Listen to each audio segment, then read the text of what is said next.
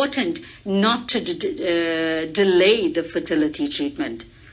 Yeah, I think it's very important when you've uh, made a decision to, to or to plan a pregnancy, not to wait too long. So we normally say if you're younger than 35 and you've been trying for one year um, and not pregnant, then to seek the, uh, the advice of a fertility specialist to try and ascertain why that is. And if you're older than 35, you should not wait longer than six months.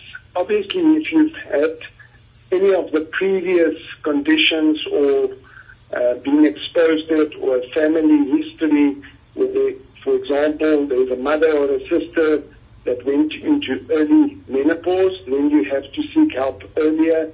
Obviously, cigarette smoking can affect it. If you've had previous surgery to your ovaries, um, changes in your menstruation, if you do not have periods or your periods are starting to get shorter or um, skip periods, all of that can be important.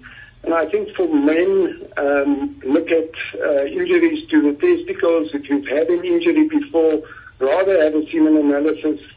Um, and also, we uh, it's very important to live healthily, and we see lots of men going to gym, uh, but there they do also uh, start using enhancers and, and testosterone and so on, which is obviously very, very bad for fertility.